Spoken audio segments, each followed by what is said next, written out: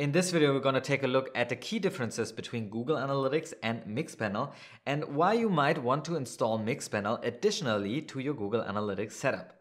All and more coming up right after this.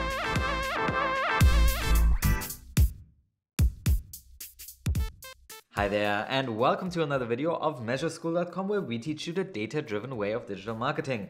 My name is Julian, and on this channel we do marketing tech reviews, tutorials, and give you tips on better tracking just like this one. So if you haven't yet, consider subscribing. Now, if you are in the market for a new analytics tool, you might be asking yourself, what is actually the difference between all these different analytics tools? And obviously there is not one answer and one best tool that you can choose out there. It always depends on your business. Today we want to take a look at the key differences between Google Analytics and Mixpanel. Now, I don't actually work too much with Mixpanel, but my friend Ruben from Practico Analytics is the perfect guy to ask because he works with different startups, setting up their analytics infrastructure and evaluating different tools for them like Google Analytics, Mixpanel, or Segment.com. So I asked Ruben to make a little video for us to discover the key differences between Google Analytics and Mixpanel and which tool might be better for which use case.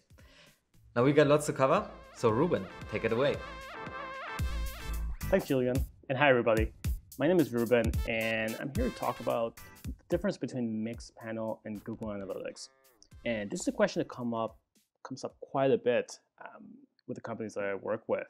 And it's something that it's very confusing initially because they, they seem to do the same thing, right? Uh, why have two tools if you're going to do the same reports? But in reality, they're, they're slightly different and they're actually complementary to each other. Now, what I want to talk about today is three things. Uh, first, I want to help you understand the differences in tracking philosophies between Google Analytics and Mixpanel. We'll talk a little bit about event, event-driven tools versus page view tools. Uh, then I want to show you what Google Analytics is really good for. You know what what should you be using it for, and, and why would you keep it? And third, uh, I'll show you what Mixpanel is good for. Uh, and then once once you see that, then you'll see how they can be complementary, and for some companies, why they keep both. So let's start with tracker philosophies. And to explain that, we're here at this website. We're here looking at Basecamp.com, and they're a project management tool. Um, and this is a good example of, of a company that could benefit from keeping both tools. So for example, so Google Analytics is a page view driven tool. What that means is you add it to your website or your mobile app, and a user comes in or they you know they refresh the page or they, they view a page and at that moment google analytics tracks you right? It says hey you you loaded this page and we have all this information about you as the user your location your ip address your browser all that. So i could i could come in and i could you know i could explore the basecamp marketing website right to learn how basecamp works. I could scroll in you know there'll be heat maps created here. Maybe look at the price and uh, look at some of the testimonials, and at some point I'll say, hey, I'm ready to sign up, right? So I'll look for the sign up page and come in here. And for you know for everything that I've done, Google Analytics is great because I've been viewing pages. I maybe I came in from different marketing channels, which Google Analytics is really good at uh, breaking apart. And at some point, I'm ready to sign up. Uh, this could be set up as a conversion goal in Google Analytics. And, and, and but we don't have you know specific actions, right? Uh, which is where events come in. So looking at pages and getting ready to sign up, this is really great for Google Analytics. Once we sign up, right, once we go through this process, then we get thrown into the Basecamp product.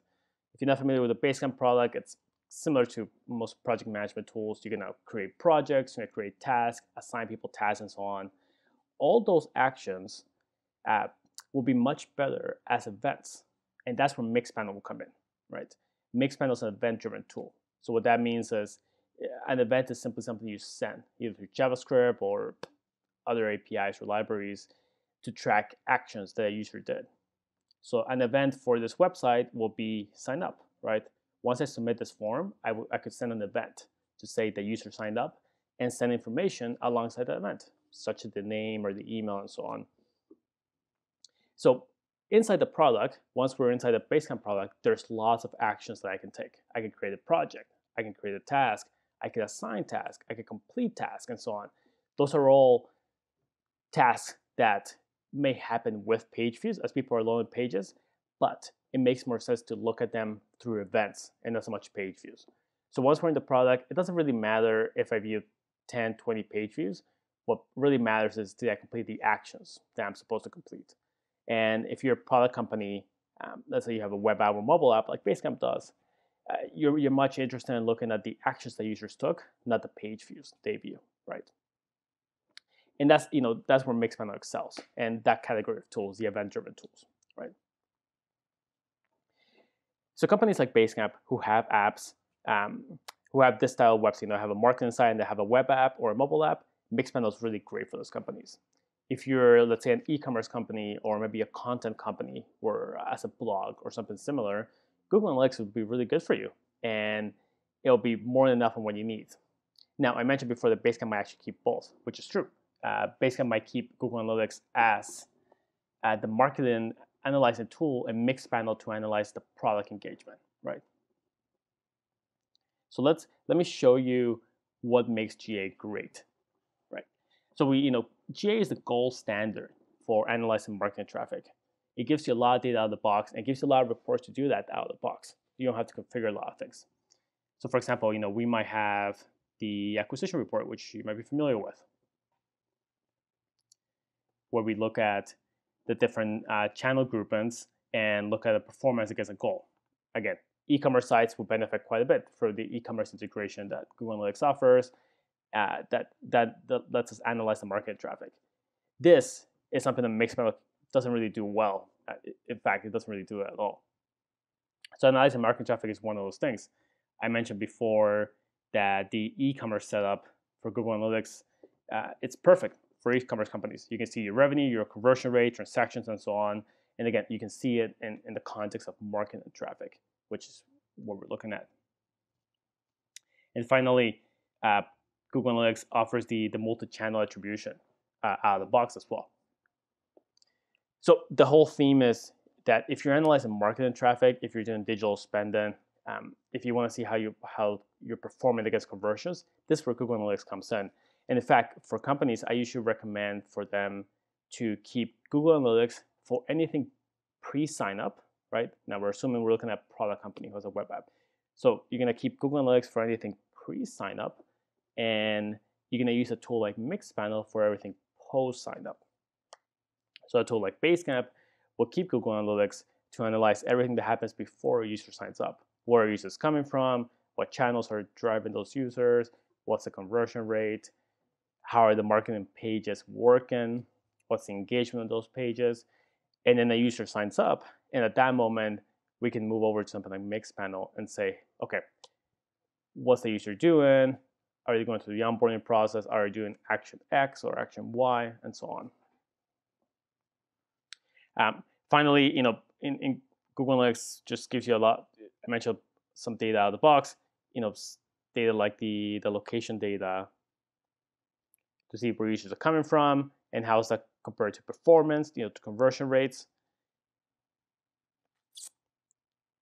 And of course, uh, one of the popular reports in Google Analytics is just the, the mobile breakdown um, against performance again, against a, a conversion goal of some kind. Now let me jump into Mixpanel and show you what Mixpanel, what makes it great and why people why people set up Mixpanel. So Mixpanel, the setup for Mixpanel is, is much higher than Google Analytics. a typical project will take maybe 10, 20 hours to just get it going, and it'll take multiple months to become familiar with it, especially if you're implementing Mixpanel and giving it to a small team. You have to train everybody on how to use it.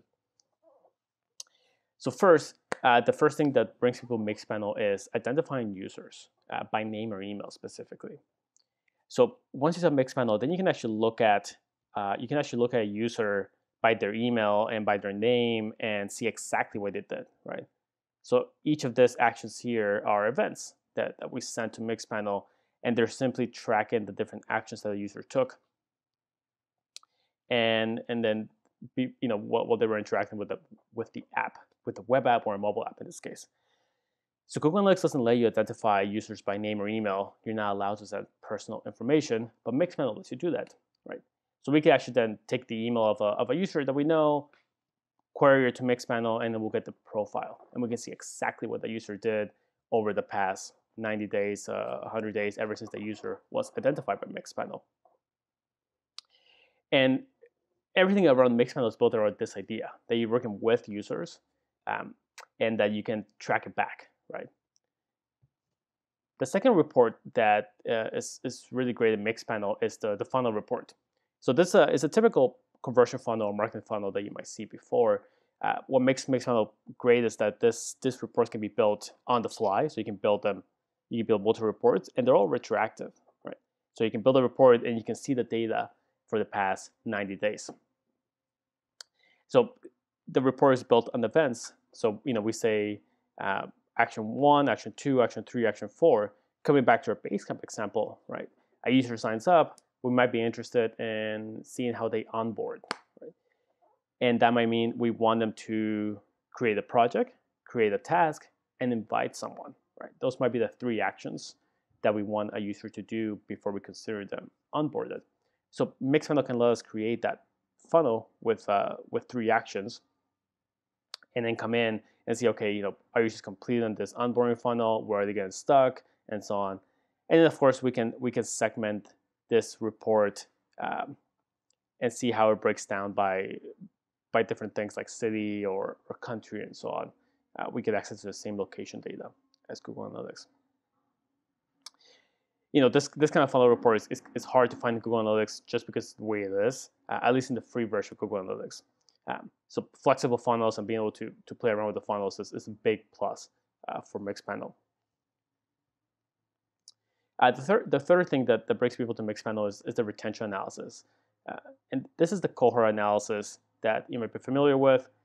Uh, we look at users who did one action, let's say users who signed up, and then came back and did anything, right? They doesn't matter what they did, they, they did anything. And then we can see that we can see the conversion rate. Uh, so, so we can see, you know, we can see how many users signed up uh, a specific week, and then and then see how many them came back and just redid any action. Right? So this cohort analysis, once again, is based on users, and it's based on uh, it's, it's based on the, the users that we can then follow in the profiles and go understand them. So we might find a user who's, who has a really high retention rate, uh, and then we can just simply go and see who they are, what they did, what are their attributes, how can we replicate those kind of users. And finally, Mixpanel and a lot of tools are really moving to, in this direction, but they're moving to help you do the analysis, right? So, so what that means is we're, we're starting to see, for example, we can look at one action and, and then see how that correlates with, let's say, fourth week retention, right? So what this means is we want to understand if, if doing a specific action, let's take a Basecamp pro project, right? If people create projects, does that correlate with people being retained in the fourth week? maybe, maybe not, right? So this is the kind of analysis that now is starting to offer, uh, doing the analysis for you, running the math for you. And this is something that I'm also starting to see companies come into Mixpanel just for this kind of report, right? Where they can get, get the data to Mixpanel and then simply run this report uh, quite quickly without having to do very complex uh, manual analysis on the side. And like I mentioned, you know, in most companies, you're going to have both, and that's fine, right? I could see a company like Basecamp having Google Analytics for everything marketing related and having a tool like Mixpanel for everything product related, right? And if you're a content company like a blog or if you're an e-commerce company, you might actually be fine with just Google Analytics because you'll be able to get everything that you need in one tool. That's it for today. If you have any questions, just let me know in the comments. Thanks, everyone. Alright, so there you have it. These are the main differences between Google Analytics and Mixpanel.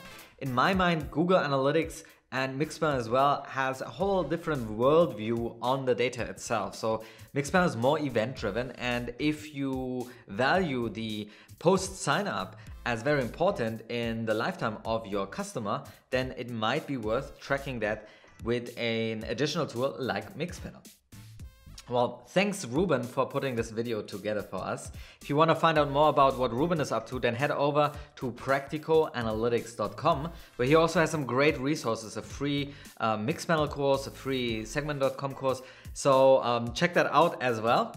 And if you like this video, don't forget to give us a thumbs up and hit that subscribe button as well because we'll bring you new videos every Wednesday. My name is Julian. Till next time.